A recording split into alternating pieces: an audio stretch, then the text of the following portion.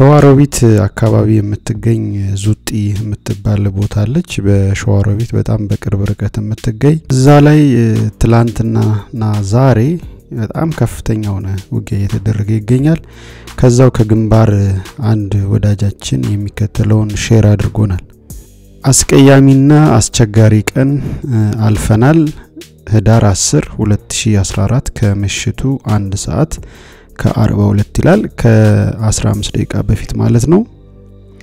አስቀያሚና አስቸጋሪ ቀን አልፈናል። እንሰደዳለን ብለን አስበን በሸዋ ቆራጥ የሀገራችን ፋኖች ገበሬዎችና ሚሊሻዎች እስካሁን ዙጢ ላይ ከፍተኛ የሆነ እልቂት ፈጽመን ውለናል። በጣም የሚገርመው ግን ራሱን ቲዲኤፍ እያለ የሚጠራው አሸባሪ ኃይል ምንም አቅም እንደሌለው ተረድተናል። የሰንበቴና የቢጤ ኦሮሞዎች በመኪና እየተጫኑ እየመጡ ከዚህ ከሀገር ሻጭ ባንዳ ጋር ሲወጉን ውለዋል። እስካሁን ግን ሶስት ሰዎች ብቻ ስናጣ ወደ አራት ቁስለኛ አለን። እውነት ለመናገር መንግስት ትንሽ ድጋፍ ቢያደርግልን ከዚህ ሳይወጡ እንደሚያልቁ የአይን ምስክር ነኝ። መንግስት ድጋፍ እንዲያደርግልን ግፊት በማድረግ share በማድረግ መልእክታችንን አስተላልፉልን። ስለዚህ ዛሬ እንግዲህ ዙጢ የምትባለው በሸዋሮቢት በጣም በቅርብ ርቀት የምትገኝ ከተማ በጃዌሃና በዚህ በሸዋሮቢት መሀል ያለች ትንሽ ከተማ ናት። እዛ ላይ ነው ከባድ የሆነ ውጊያ ያለው። የኦነግ ጦርና የህወሓት ጦር ነው እየወጋቸው ያለው። መከላከያ ጠቅልሎ እንደወጣ ሰምተናል። አሁንም ስልታዊ ማፈግፈግ ነው ተብሎ ነው እንግዲህ የወጡት።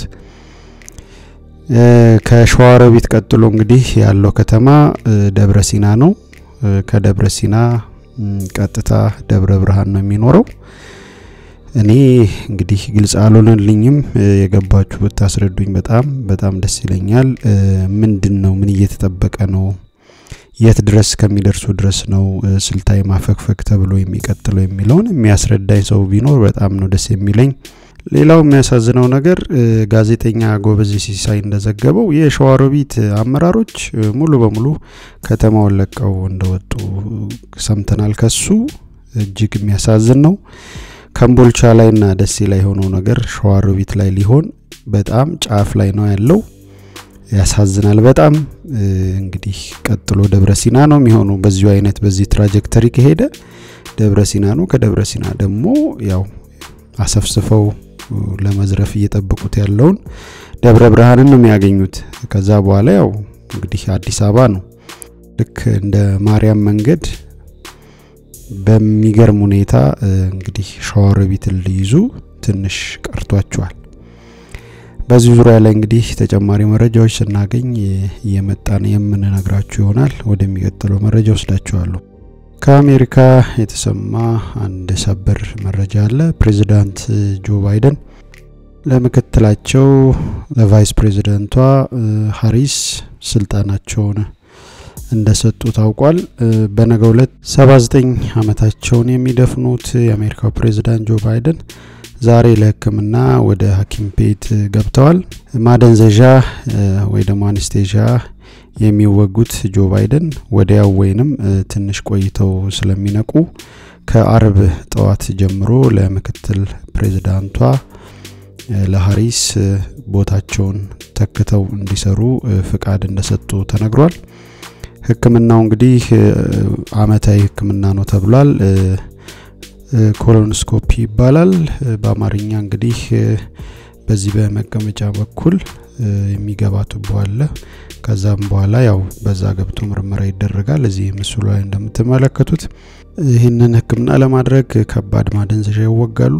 በዛ ሰዓት ያው ራሳቸውን ስለማያውቁ የግድ አንድ ሰው መኖር አለበት። በህጉ መሰረት ያው ምክትሉ ነው እንደ ፕሬዚዳንት ሆኖ የሚያገለግለው ማለት ነው። ሀሪስ እንግዲህ የመጀመሪያዋ ሴት ፕሬዚዳንት ሆኗል። ለአጭር ጊዜም ቢሆን ማለት ነው። ያለውን ነገር እየተከታተልን የምናቀርብ ይሆናል። በቤተ ክህነት የተገኘው ይሄ በቪዲዮ የምትመለከቱት ጦር መሳሪያ በጣም አነጋጋሪ የሆነ መጥቷል። ቤተ ክርስቲያኗ ውስጥ ይሄ ሁሉ ነገር ምን ያደርጋል የሚሉ በአንድ በኩል፣ በሌላ በኩል ደግሞ አይ ቤተ ክርስቲያን እኮ የሚጠብቃት አካል ያስፈልጋታል፣ ስለዚህ ያ የሚጠብቃት አካል የሚጠቀምበት መሳሪያ ነው ነው በማለት ህብረተሰቡ ለሁለት ተከፍሎ እየተነጋገረ እየተከራከረ ይገኛል።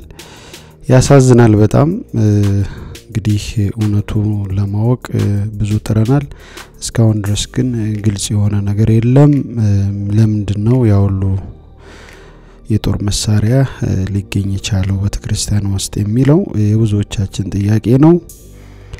እንግዲህ ወደፊት ተጨማሪ መረጃዎች ይወጣሉ ብዬ ተስፋ አድርጋለሁኝ። ጊዜው በጣም አስቸጋሪ ስለሆነ በተለይ አዲስ አበባ ውስጥ እየተገኙ ያሉት ነገሮች በጣም የሚገርሙ ነገሮች ናቸው። ለማንኛውም ይህም ጊዜ አልፎ በደንብ ስለ ሁኔታው የምናውቅበት ጊዜ ይመጣል ብዬ ነው ተስፋ የማደርገው። ተጨማሪ መረጃዎች ሲኖሩን በዙሪያው የምናቀርብላችሁ ይሆናል። በመጨረሻም እንግዲህ ጠቅላይ ሚኒስትሩን የሚመለከት መረጃ አለን። ጠቅላይ ሚኒስትሩ ዛሬ እንግዲህ በትዊተር አንድ ሚሊዮን follower እንዳፈሩ ተነግሯል። ዛሬ እንግዲህ በጻፉት መልእክት ሀገሪቱ ውጫዊም ሆነ ውስጣዊ ስጋቶችን ስትጋፈጥ ብዙ ትግሎችና ምቾት ማጣት ይኖርብናል። ሁላችንም ኢትዮጵያውያን በአንድነት ቆመን ይህንን ጊዜያዊ ማዕበል ከፍለን በአንድነት እንድናቋርጠው ጠይቃለሁ። በአንድነት ከቆመን ማሸነፋችን ሰበር ዜና አይሆንም፣ ከዚህ በፊት አድርገነዋልና አሁንም እናደርገዋለን በማለት መልእክታቸውን አስተላልፈዋል። በተያያዘ ዜና እንግዲህ ዛሬ የአፍሪካ የሽምግልና የተቀመጡት በፌዴራል መንግስቱና በህወሓት መካከል ኦባሳንጆ መቀሌ እንደነበሩና ረጅም ሰዓት ውይይት እንዳደረጉ አቶ ጌታቸው ረዳ ዘግበዋል። ሁኔታው እንግዲህ በመንግስትም በህወሓትም በኩል የሰላም ጉዳይ ፈቃደኝነት ያገኘ ይመስላል። በቅርቡ እንግዲህ አዲስ ነገር የምንሰማ ይመስለኛል። እየተወያዩ ይገኛሉ። የአሜሪካ መንግስትም ይሄን ነገር ውይይቱ ቀጥሎ ነገሩ በሰላማዊ መንገድ እንዲያልቅ ፍላጎት አለኝ ሲል ገልጿል። ዛሬ ረጅም ሰዓት ነው እንግዲህ ኦባሳንጆ መቀሌ ከዶክተር ደብረጽዮን ጋር ሲወያዩ የነበረው። አቶ ጌታቸው ረዳም መልካም ውይይት እንደሆነ በትዊተርና በፌስቡክ ገጹ ነግሮናል። እንግዲህ ምኞታችን ሀገራችን ሰላም ሆና ማየት ነው። ተስፋዬም እንግዲህ እንዲህ በአደጋ ውስጥ ያለው ህዝባችን ለወቅቱም ቢሆን ለአፍታም ብትሆን ሰላም አግኝቶ ወደ ህሊናችን ተመልሰን ሁላችንም ተወያይተን እንደ ድሮ ሀገራችንን ማሳደግ ላይ ይቅር ተባብለን ወደፊት የምንሄድበት ላይ እንድናተኩር ነው ምኞቴ። እንግዲህ ያለው ነገር ይሄ ነው። በኢትዮጵያ ዛሬና ሰሞኑን የሆኑት ነገሮች አዲስ አበቦችንን share፣ subscribe፣ like በማድረግ የኛ ቤተሰብ የሆኑ ኢትዮጵያችን ሰላም ትሆንልን፣ ሀገራችን ፍቅር ይሙላብልን ነው የምንለው። ደግሜ በሌላ መረጃዎች እስከማገኛችሁ ድረስ በሰላምና በፍቅር ቆዩኝ። ኢትዮጵያ ለዘላለም ትኑር።